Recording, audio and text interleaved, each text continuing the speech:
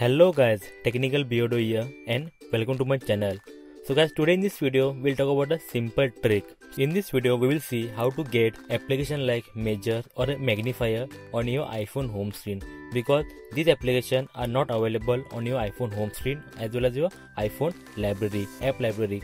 So basically how to get them on your iPhone home screen so you can use them regularly without any without searching every time. So guys basically very simple trick do one thing okay on your iPhone home screen slide down it will open a search tab for you.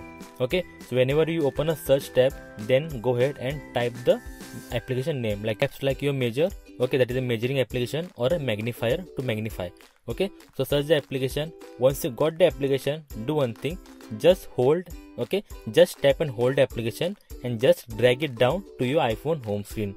So whenever you do that basically that app will be dragged down to your iphone home screen so very simple trick. Just go to the search tab search the application and here hold the tap and hold application and drag it down to your iphone home screen. That's it. And that application that stock application will be available on your iphone home screen for next time usage.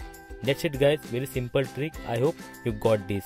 And guys if you like this video then please give a like and please support by giving a sub. So please do subscribe. And guys until then thank you very much. Bye bye see you in the next video